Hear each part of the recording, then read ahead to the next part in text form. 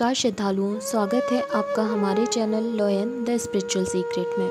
मैं साध्वी करुणा आज इस वीडियो में आपको बताने वाली हूँ एक छोटी सी चीज़ के बारे में, जिसे अगर आप टाइम निकाल कर कर लेंगे तो आपके ऊपर आपकी कुल देवी कुल देवता और पितृ की कृपा बरसने लगेगी।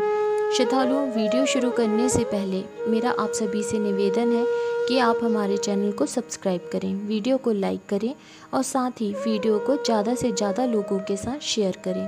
तो श्रद्धालुओं आइए वीडियो शुरू करते हैं। कुछ चीज़ें ऐसी होती हैं जिन्हें होली और दीपावली पर ज़रूर करना होता है। कुछ ऐसे उपाय होते हैं जिन्हें साल में एक बार अगर आप कर लेते हैं तो आपके ऊपर लाइफ टाइम कोई भी समस्या नहीं आती। उन्हें कुछ महामुहूर्त में ही करना होता है। या महापर्व पर ही करना होता है, जैसे होली या दीपावली। ये ऐसे मुहूर्त होते हैं, जिन पर सभी प्रकार की शक्तियाँ आपका साथ देती हैं। चाहे वह नकारात्मक शक्ति हो या फिर सकारात्मक शक्ति हो, सब आपके ही पक्ष में होंगी। मुख्यतः होली और दीपावली, यह दो ऐसे पर्व होते हैं, जिन पर शक्तियाँ आपका पूर्ण रूप से साथ देती हैं, और इन पर किए गए उपाय कभी भी विफल नहीं होते। इस दौरान आप यंत्र, मंत्र, तंत्र सभी कुछ सिद्ध कर सकते हैं। अगर आप यह चाहते हैं कि आपकी उन्नति हो, आपकी तरक्की हो और आपको हर कार्य में सफलता मिले, हर कार्य में मतलब आपका हर कार्य जो भी आप सोच रहे हैं या कर रहे हैं, उसमें आपको सफलता मिले तो आप इन सब के लिए अपने पितरों को मनाइए, क्योंकि पितरों को घर का प्रथम देवता माना जाता है। इनके साथ ही आप अपने कुल देवी कुल देवता को भी मनाइए। इसके साथ ही इष्ट देवता की पूजा कीजिए, उनको मनाना भी बहुत ज़रूरी है। इष्ट देवता को अगर आप साधारण पूजा भी करते हैं तो भी इतना फ़र्क नहीं पड़ेगा, लेकिन अपने कुल देवी कुल देवता और पितरों को मनाना बहुत ज़्यादा ज़रूरी है। तभी आपको सफलता प्राप्त होगी। जो भी आपके पितृ होते हैं, वह आपके परिवार के सदस्य होते हैं। पितर आपके चाचा, ताऊ, दादा, दादी या फिर कोई भाई भी हो सकता है तो वे आपके कुल के होते हैं। उनका आपसे खून का संबंध होता है। उनकी ऊर्जा सदैव आपसे जुड़ी हुई होती है, चाहे आप उनको मानो या फिर ना मानो। इसके साथ ही आपकी जो कुल देवी होती हैं या जो आपके कुल देवता होते हैं, उनकी ऊर्जा भी सदैव आपके साथ जुड़ी हुई रहती है। और अगर आप इनको मना लेते हैं और इनकी अच्छे से पूजा पाठ करते हैं तो आपके सभी कष्ट नष्ट हो जाते हैं। जैसे आपने किसी काम के बारे में सोचा, वह काम काफ़ी समय से रुका हुआ था। लेकिन जब आप अपने कुल देवी कुल देवता और अपने पितरों की बहुत अच्छे से पूजा पाठ करते हैं तो आपके रुके हुए सारे कार्य संपन्न होने लगते हैं। ऐसा भी कहा जाता है कि हमें अपने पितरों, कुलदेवी, कुलदेवता को होली और दीपावली पर ज़रूर मनाना चाहिए। उनकी पूजा करनी चाहिए, उनको भोग देना चाहिए। दीपावली और होली, यह बहुत बड़ी शक्तियों वाले दिन होते हैं। तो इन दिन तो आपको, उनको भोग देना ही चाहिए, उनकी पूजा करनी ही चाहिए, जिससे कि आपकी सिद्धियाँ, आपकी जो शक्तियाँ हैं, वह सिद्ध हो जाएँ। और इसके बारे में मैं आपको बताऊँगी कि कैसे आप उनकी पूजा करें, कैसे आप उन्हें मनाएँ।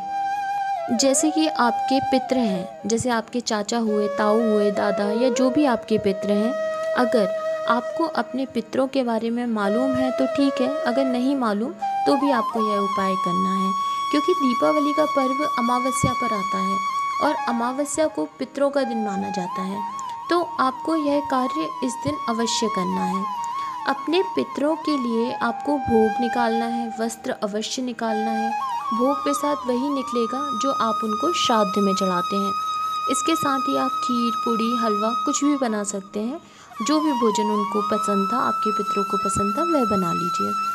उनके लिए आपको जो वस्त्र निकालना है, वह पाँच प्रकार के होंगे।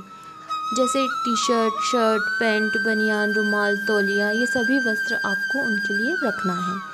अगर आपके जो पित्र हैं, वो बुज़ुर्ग थे तो आपको उनके लिए धोती, कुर्ता, इस तरीके के वस्त्र निकालना है। अगर कोई महिला थी तो उनके लिए साड़ी, ब्लाउज़ पीस, ऐसे वस्त्र आपको अर्पित करना होंगे। यह सब तैयारी करके आपको छोटी दीपावली पर, यह सब पूरी तैयारी आपको छोटी दीपावली पर करना है। और यह जो दान है, वो आपको करना है दिवाली पर। किसी पंडित को देना है। अगर आप भोजन नहीं खिला पा रहे हैं तो आप किसी पंडित को सीधा दे दीजिए। सीधे में आपको आटा, दाल, मिर्ची, गुड़, घी, वस्त्र और ग्यारह रुपये ग्यारह रुपये की राशि तो कम से कम रखनी है तो आप यह चीज़ें उनको दे दीजिए सीधे के तौर पे। और इन सब चीज़ों को आप मंदिर में भी किसी पंडित को दे सकते हैं। इसके साथ ही अगर आप ब्राह्मण को भोजन करा सकते हैं तो बहुत अच्छी बात है।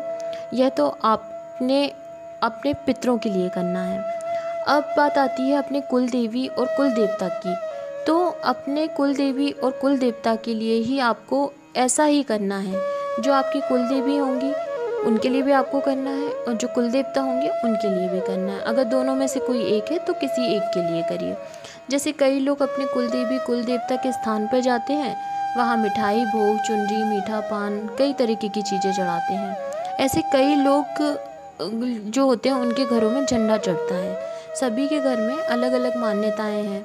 उसी अनुसार वे पूजा करते हैं। उसी के अनुसार वे भोग चढ़ाते हैं। अगर आप ज़्यादा कुछ नहीं कर सकते तो अपने कुल देवी कुल देवता के नाम का भोग भोग प्रसाद ज़रूर चढ़ाएँ। अगर आप उन्हें वस्त्र नहीं चढ़ा सकते तो कोई बात नहीं, मत चढ़ाइए, लेकिन इनकी पूजा करिए और भोग ज़रूर दीजिए इनको।